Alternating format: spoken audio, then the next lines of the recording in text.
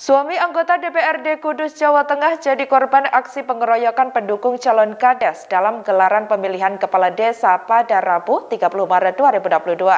Pengeroyokan ini dipicu seusai korban mengingatkan pendukung calon kepala desa agar tidak melakukan mobilisasi warga karena sudah ada kesepakatan bersama antar Kades. Akibat insiden itu, korban mengalami luka lebam harus menjalani perawatan di IGD Rumah Sakit Umum Daerah Dr. Lukmono Hadi Kudus. Dikutip dari Tribun Banyumas.com pada Rabu 30 Maret 2022, diketahui pemilihan kepala desa atau pilkades ini digelar di Undaan Lor, Undaan Kudus, Jawa Tengah. Dikabarkan korban bernama Muali berusia 54 tahun sekaligus suami seorang anggota DPRD Kudus dari fraksi PKS, Umi Bariroh. Muali merupakan warga Gang 31 RT 7 RW 5 Undaan Lor Kudus, Jawa Tengah. Sementara itu, pengacara Ali Amir Darmanto, menyampaikan kondisi korban. Dia menjelaskan korban mengalami luka lebam hampir di sekujur tubuh dan luka pada bagian kepala. Amir menuturkan awalnya korban hanya mengingatkan kepada pendukung calon kepala desa berinisial E untuk tidak melakukan mobilisasi warga. Namun pria berinisial E tidak terima atas teguran tersebut.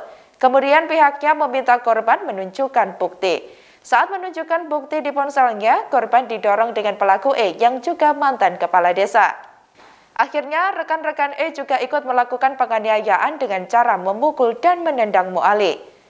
Setelah pengobatan dan visum selesai, pihaknya akan melaporkan kejadian tersebut ke Polres Kudus. Dijelaskan olehnya, terduga pelaku akan digugat menggunakan pasal 351 tentang penganiayaan dan pasal 170 tentang pengeroyokan. Akibatnya pelaku juga terancam hukuman maksimal 5 tahun penjara.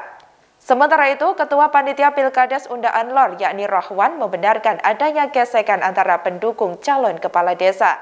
Namun dia tidak mengetahui pemicu kerusuhan lantaran saat kejadian ia sedang berada di tempat pemungutan suara. Kendati demikian, secara umum pelaksanaan pemilihan kepala desa di Desa Undaan Lor berjalan lancar. Atas kejadian tersebut, kasus main hakim sendiri itu tengah ditangani oleh Polres Kudus guna dilakukan pemeriksaan lebih lanjut.